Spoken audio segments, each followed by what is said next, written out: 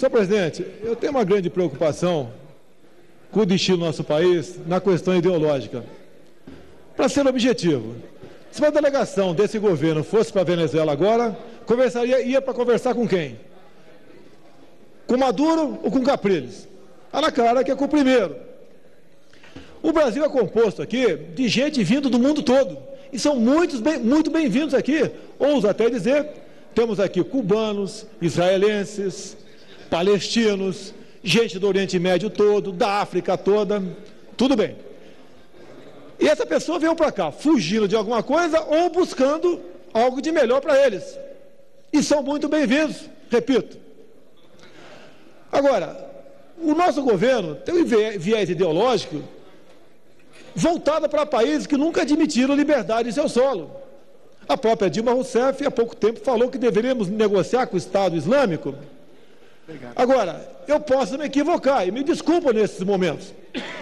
Mas olha só, acordo econômico é uma coisa que tem que ser buscada, no meu entender, com o mundo todo.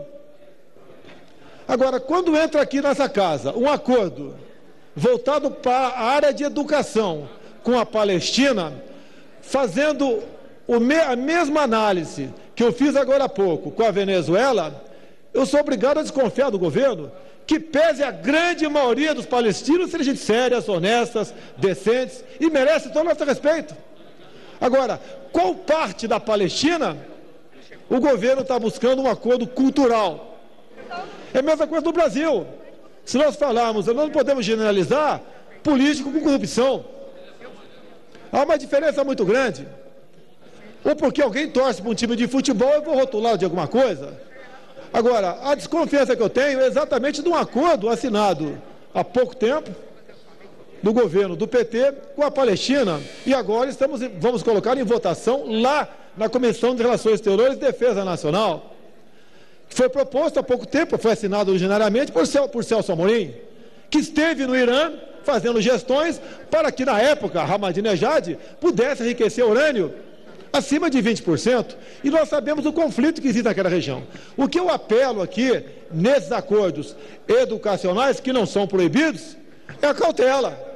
Nós não podemos trazer possíveis problemas que tem em qualquer país do mundo para dentro do Brasil. Nós já temos problemas mais que o suficiente aqui.